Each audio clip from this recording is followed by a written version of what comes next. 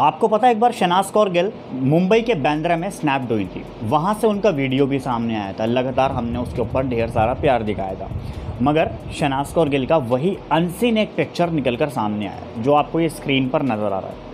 शनाज कौर गिल की ब्यूटी और सबसे बड़ी बात यह है कि विदाउट मेकअप हल्का सा मुस्कुराती हुई शनाज कौर गिल नज़र आ रही हैं। और यहाँ पर ये स्पॉटमैन के साथ में इनका ये पिक्चर सामने आया है अनसीन मुंबई के बैंद्रा से। मगर फ़िलहाल ये पिक्चर कहाँ था? और अब सामने क्यों आया है? एक्चुअल में ऐसा होता है, बहुत सारे इनके दीवाने ऐसे हैं, सिद्धार्थ या फिर शनास इनके दीवाने ऐसे हैं कि पिक्चर से क्लिक तो कर लेते हैं, मगर बहुत बाद में शेयर करते हैं। और जब बाद में शेयर करते हैं तो वो एक बड़ा ट्रेंड होता है। और वो बड़ा ट्रेंड होता है तो उनको अच्छा लगता है जो शेयर करते हैं। तो ये एक मोस्ट और बड़ा रीज़न है। हालाँकि शनाज कौर गिल की इससे ब्यूटी का हमें आइडिया लगाया जा सकता है कि कितनी ज़्यादा शनाज गिल नेचुरलिटी लुक के साथ में हमें अच्छी लगती है।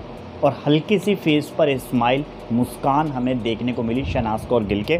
ये कंसीन पिक्चर हालाँकि हमारे सामने कोई सा भी लुक आ जाए, पुराने से पुराना, नए से नया, हम प्यार दिखाना, हमारे लिए प्यार दिखाना शनाज कौर गिल के ऊपर लाजमी है।